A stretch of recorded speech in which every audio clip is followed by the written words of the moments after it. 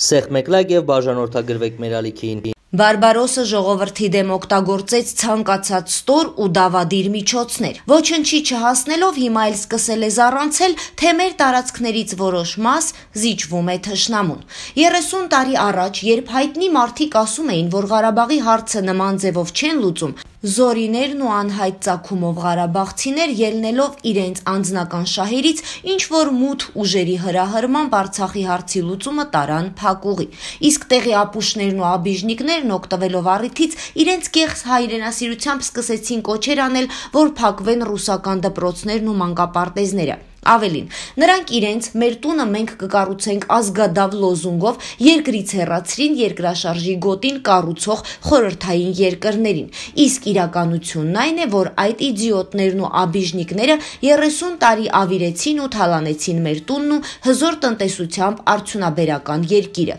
Իսկ երրորդ этаպում երկրում հայտնվեցին Ղարաբաղյան կլանի բարբարոս տեսակը, որն իր սուտ ու փուչ դիվանագիտությամբ մեր երկիրն ու ժողովրդին դրեց ծանր վիճակի մեջ ազգի այս խոտանը 2018 թվականին հայտնվելով աղբանոցում, օգտվելով մեր բարի կամքից ու հանդուրժողականությունից նորից ձգտում է ռևանշի։ Բարբարոսը ժողովրդի դեմ օգտագործեց ցանկացած ստոր ու դավադիր միջոցներ, ոչնչի չհասնելով հիմա էլ սկսել է զառանցել, թե մեր տարածքներից որոշ մաս զիջվում է թշնամուն։ Նույնիսկ նոր քարտեզներ են հրապարակում 1926 թվականի ու ելի մի քանիսը մինչև 1980 թվի։ Նրանք իրենք իրենց հակադարձում են, թե ինչու են ռուսական քարտեզներն օգտագործվում։ Մեկը չկա հարցնի, բա որ քարտեզներն օգտագործվեն, այ իդիոտներ։ Իսկ ինչու չեք հրապարակում ու պահանջում օգտվել Տիգրան մեծի ժամանակների քարտեզներից։ Սիրելի ժողովուրդ, մենք շատ լավ գիտենք, որ Հայաստանը ձգվել է մինչև Կուր գետի ափերը։ Այդ մասին հայտնի է ողջ առաջադեմ մարդկությանը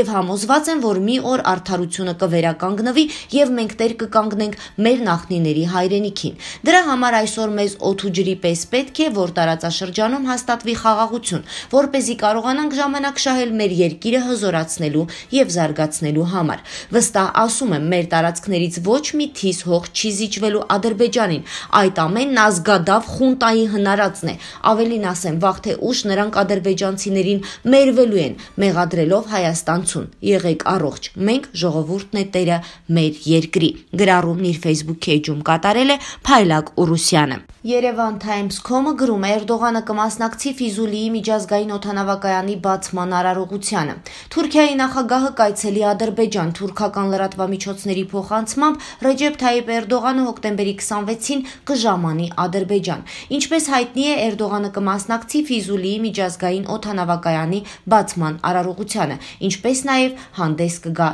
ելույթով։ Ֆիզուլին այն շրջաններից է, որ երկրորդ Ղարաբաղյան պատերազմից հետո անցել է Ադրբեջանի վերահսկողության տակ։ Վերջին անգամ Թուրքիայի նախագահը Ադրբեջան էր այցելել 2021 թվականի հունիսին։ Փայլակ Ուրուսյանը գրում է. «Մի պահ հայտարարություն է տարածել այն մասին, որ Վենետիկի հանձնաժողովն իրեն գնահատել է որպես Ա կարգավիճակ ունեցող օմբուդսմենի։ Չի բացառվում, որ մի օր էլ կարող է Վենետիկի հանձնաժողովը Քոչարյանին ու Սերժին գնահատի որպես Եվրոպայի ակարգավիճակ ունեցող նախագահների այդ կառույցի չինովնիկներից ամեն ինչ սпасելի է»։ Ականջներիդ օղարեք ձեր եւ ձեր տերերի գնահատականը ժողովուրդը 2018 թվականին է տվել, իսկ Վենետիկի հանձնաժողովի կողմից տրված նման գնահատական բացառապես միայն ժողովուրդը կարող է տալ։ Թաթոյան Արմանը երևի իր մանկության տարիներն է հիշել։ Ձի ձի փայտե ձի մեր դռանը կապեցի, կարմիր գույնով ներկեցի, ով որ ունի այսպես ձի, թող գա ու ինձ հետ մրցի։ Նա նմանվում է նաև խորհրդային տարիներին միջև երրորդ դասարանի հոկտեմբերի կաշակերտներին, երբ նրանք պատրաստվում էին դառնալ պիոներ եւ ղեկավարում էին պիոներական ջոկատի կողմից։ Նա պետք է անգիր իմանալ, Լենին պապին մեռել է, մեզի ավանց թողել է։ Հայտնի ոտանավորը, ժողովուրդ ջան, իսկ ով գիտի Թաթոյանը որտեղի դպրոցն է ավարտել։ Հետաքրքիր է, առողջ եղեք, Թաթոյանի Թաթոյանին 3 ամիս է մնացել այդ պաշտոնին մնալու։ Լորա Եղիազարյանն իր Facebook-ի էջում գրում է. «Ցուցմունքներ կան, որ հոկտեմբերի 27-ին Նաիրի Հունանյանը ազգային ժողով մտել է Բաչկոն կենտրոնով, որի տակ անհնար էր թաքցնել ինքնաձիգը։ Նշանակում է, որ զենքերը արժե են վերվել նախորդ, նախաքննական մարմինը փորձաքննության չէր ուղարկել արժեին պատկանող եւ արժեվուտ գործող անձերի անձնական օգտագործման մեքենաների բեռնախցիկների օդը։ Մասնագետները հավաստիացնում էին, որ ինքնաձիգի յուղը մի քանի տարի կարող է մնալ բեռնախցիկի օդի մեջ։ Դատարանում առաջարկեցի վերցնել մեքենաների բեռնախցիկների օդի украинским границам для оперативного реагирования на любые действия Киева. Что же касается украинской ракетной программы, то специалисты называют заявление Арестовича Блешева и фантазией. Единственное, чего пока что удалось добиться Украине, так это переделать советскую крылатую ракету в так называемый ракетный комплекс «Нептун». Условно от украинской границы до Москвы лишь около 400 километров. Но судя по тому, что в Иисусе еще используют советские отклик точку создания, отрасль здания свыше 400 километров станет доступным Киеву не менее чем ռուսներ։ Դրանք չեք կարող գնալ, որովհետև անգաղափար եք, իսկ զրկանքների պատրաստ են լինում գաղափարական մարդիկ։ Դուք ինչ գիտեք, թե պետությունը ինչ է, որ նրա ապագայի մասին մտածեք։ Դուք ընդամենը սպառողներ եք, բորենիների գողացված փողերի սպառողներ։ Դուք դա հայտարարում եք ձեր գինը բարձրացնելու նպատակով, ձեր տերերին հավատարմության երթուն տալու նպատակով, ձեր լափը չկորցնելու նպատակով։ Դուք շարքային վախկոտ շարլատաններ եք։ Սիրիկեյը գրում է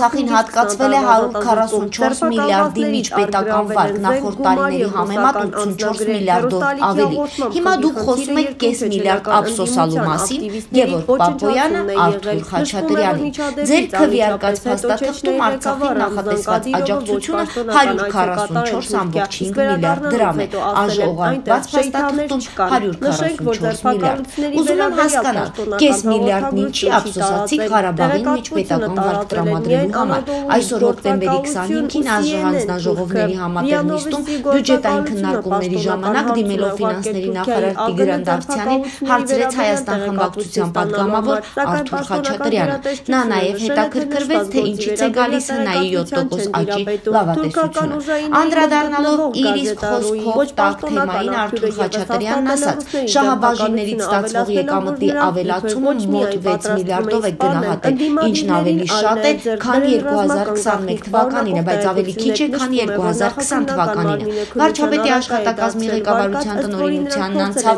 ԿՊՄԿ-ի 15%-ը։ Արդյոք այդ ԿՊՄԿ-ի 15%-ը 50%-ն էլ ավելացնելով 12 միլիարդ դրամ է գեներացնելու։ Արձագանքելով կես միլիարդ Արցախին ափսոսալուն Արթուր Խաչատրյանի դիտարկմանը նիստը նախագահող քաղաքացիական պայմանագիր խմբակցության падգամավոր Գևորգ Պապոյանը նշեց. «Վստահ եմ գիտեք, նախորդ տարիների բյուջեներում Արցախի միջպետական վարկը եղել է 40-ից 60 միլիարդ, իսկ այս տարի տրվել է 144 միլիարդ կամ ավելացվել է 84 միլիարդով։ Եվ այդ դեպքում այս կես միլիարդը տեխնիկական հարց է եւ տարեկան ճշգրտումների մեջ մենք կարող է շատ ավելին հատկացնենք։ Իսկ հիմա դուք խոսում եք կես միլիարդ ափսոսալու մասին։ Մենի հավերը գրում է. Աբդուլլահ Գյուլը դատապարտել է Էրդողանի հայտարարությունը դեսպանների վերաբերյալ։ Թուրքիայի նախագահ Ռեջեփ Թայիպ Էրդողանը երկու օր առաջ հայտարարել էր, որ երկրի արտգործ նախարարությանը կարգադրել է անցանկալի անց հայտարարել թուրք իրավապաշտպան